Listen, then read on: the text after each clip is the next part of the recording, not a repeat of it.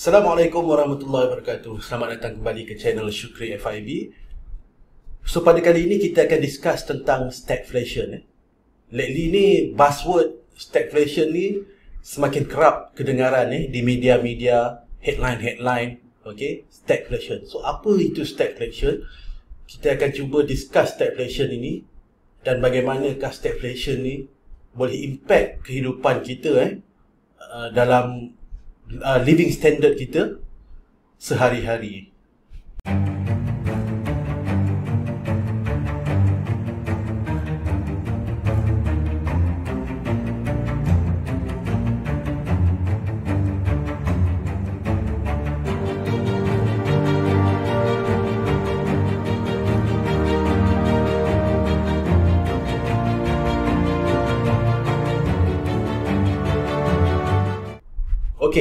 As a comparison, bila kita cakap pasal inflation, price ialah harga barangan meningkat. GDP juga dalam kebanyakan masa meningkat. Okay, inflation, harga meningkat, GDP meningkat. Deflation, dia terbalik. Okay, harga barangan menurun, GDP pun menurun. Okay, tapi bila stagflation, idea agak unik sikit iaitu harga meningkat, GDP menurun. Jadi dalam keadaan ini, central bank agak sukar untuk mengambil keputusan untuk menaikkan kadar interest ataupun menurunkan kadar interest sebab dia berlaku both uh, ways dalam satu masa. Okay? Jadi itu yang menyebabkan stagflation ni agak sukar untuk ditangani berbanding dengan inflation ataupun deflation. Okay, jadi kenapakah stagflation ini berlaku eh?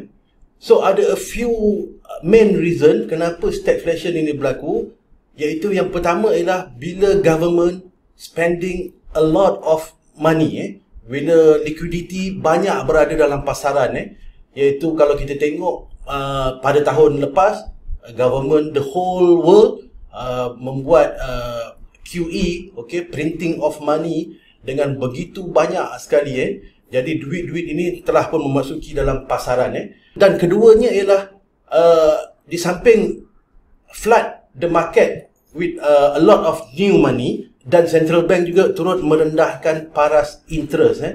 Jadi combination duit yang banyak dalam pasaran dan kemudian low interest dia menyebabkan demand rising very very fast eh. Permintaan daripada pengguna meningkat begitu cepat sekali.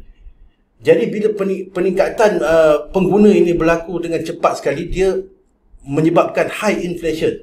Okey, inflation dari sudut uh, barang makanan, inflation dari sudut perumahan, inflation dari sudut harga kereta, basically everything semua naik harga. Okey. Dan disebabkan oleh demand yang begitu tinggi, dia berlaku dalam lagging uh, terhadap supply. Okey, supply uh, berlaku constraint dekat supply sebab supply tak boleh cope up dengan demand yang begitu tinggi. Dan bila supply ini uh, operate at full capacity, contohnya kilang-kilang semua uh, operate begitu orang kata operate dengan uh, full swing, production uh, operate full swing, production memerlukan energy. Okay? Dan energy itu ialah sumber energy sekarang ini ialah yang utama ialah gas, petrol, diesel, arang batu turut naik harga dengan lebih pantas lagi eh. Jadi ini ialah keadaan yang kita macam berada sekarang ini eh. Tahun 2021 ni kita sedang berada dalam situasi ini di mana energy price semua meningkat dalam satu dua bulan ni begitu tinggi eh yang menyebabkan krisis uh, uh, energi hampir uh, di kebanyakan negara di seluruh dunia eh, especially di China, Europe, okay, uh, India, semua sedang berlaku energy crisis. Okey. Okey, seterusnya keadaan ini kalau gagal ditangani secara berkesan oleh uh, kerajaan ataupun central bank, kita mungkin kembali kepada era tahun 1970-an eh iaitu berlakunya pada tahun-tahun itu berlakunya uh, stagflation eh. Itu ialah sejarah stagflation yang kita ada eh iaitu 1970s eh. Pada tahun 1973 dan 1975. Okey berlakunya oil embargo oleh OPEC. Okey. Uh, di waktu itu uh, US uh, US President ialah uh, Richard Nixon eh. Kenapakah oil embargo ini berlaku apabila US menukar sistem daripada uh, Bretton Woods system gold standard kepada free float system currency Bretton Woods system kemudian ditukarkan kepada free float system eh disebabkan oleh itu USD pada awalnya crash USD tak ada value sebab government printing banyak duit. Britain mempunyai pegangan bond uh, untuk bond US. Okey, jadi Britain nak redeem 2 bilion US dollar pada tahun 1970-an ini eh uh, daripada US. Dan sepatutnya pembayaran redeem ini, redemption ini berlaku dalam bentuk emas. Okey, sebab sebelum itu ialah uh, Bretton Woods system ialah mengekalkan emas uh, parity dengan harga gold. Jadi bila redeem sepatutnya mendapat emas. Okey. Tapi US tak bagi emas.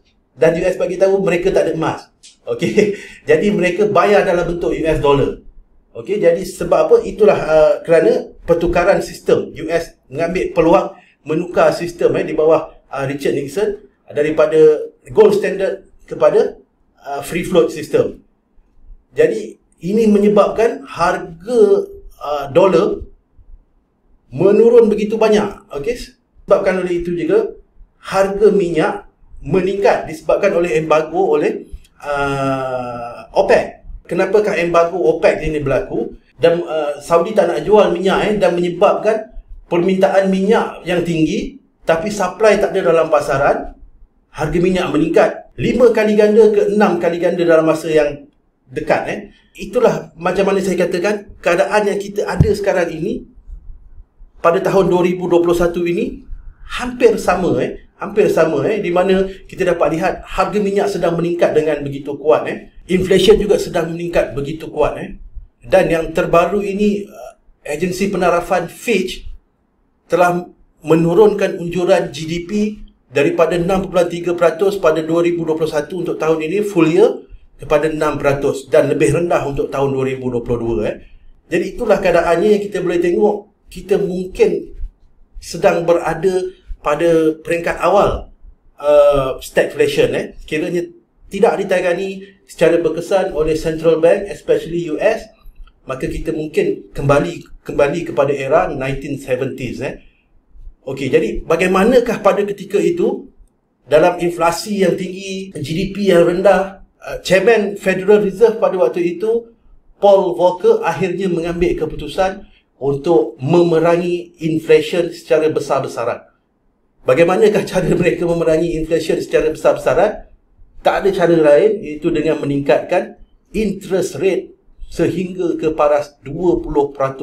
Saya pasti ingat pada ketika itu bagaimana uh, bapa saya beli kereta pada waktu itu kadar faedah yang dikenakan ialah belasan peratus eh. Kalau kita buat loan kereta mungkin 3%, 4%, 5%. Tapi pada waktu itu interest untuk kereta meningkat sehingga berbelas peratus eh. Jadi itulah keadaannya apabila stagflation ini berlaku eh. Jadi kalau inflation keep on persisting, eh, keep on berterusan uh, dan GDP terus menurun, meaning dari sudut investor the best sektor yang kita boleh invest financial okay macam bank dan juga dalam company-company energy eh ah, yang ini dan ini ialah sektor-sektor yang meningkat apabila berlakunya high inflation yang menuju kepada stagflation eh dan seterusnya sebagai pengguna juga kita perlu bersedia dengan kenaikan harga barangan okey dan uh, kelemahan ekonomi kelemahan uh, GDP